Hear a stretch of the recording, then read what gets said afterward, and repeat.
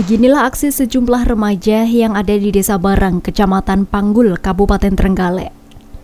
Dalam video amatir itu memperlihatkan para pemuda yang tengah memanfaatkan momen banjir besar pada tanggal 1 Januari lalu untuk berenang. Kasih Humas Polres Trenggalek Ibtu Suswanto membenarkan kejadian tersebut.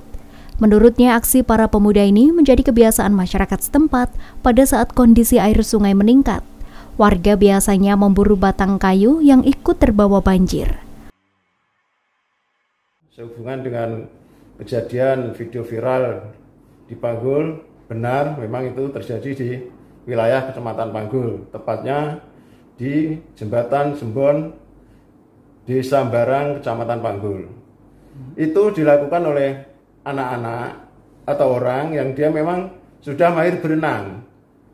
Dilakukan menjadi kebiasaan atau sudah menjadi tradisi orang-orang di sana manakala terjadi banjir mereka itu mencari kayu bakar yang hanya di sungai.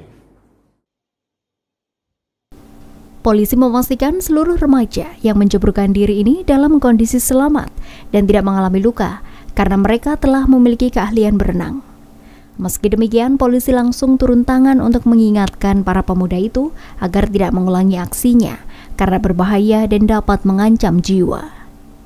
Sementara itu, para pemuda yang melakukan aksi terjun ke sungai ini mengaku aksi tersebut lazim dilakukan oleh masyarakat di sekitar daerah aliran sungai.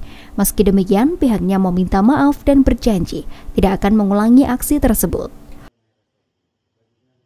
Selamat siang, saya atas nama Kuku Firman Permadi mewakili teman-teman saya yang melakukan aksi terjun dari jembatan ketika uh, banjir di Sungai Desa Barat kemarin tanggal 1 Januari. Saya ingin mengkonfirmasi dan mengklarifikasi bahwasanya kami dari teman-teman yang terjun dari jembatan kemarin bahwa kami sehat walafiat dan selamat alhamdulillah dan itu merupakan tradisi yang kami lakukan sudah dari sejak zaman bapak-bapak dan juga kakek-kakek kami dan terkait dengan kejadian viral tersebut kami selaku eh, pelaku tersebut kami meminta maaf sebesar-besarnya dan kami berjanji tidak akan mengulangi kegiatan kembali tersebut. Dari Trenggalek, Simon Bagus, Muhammad Hirlambang melaporkan.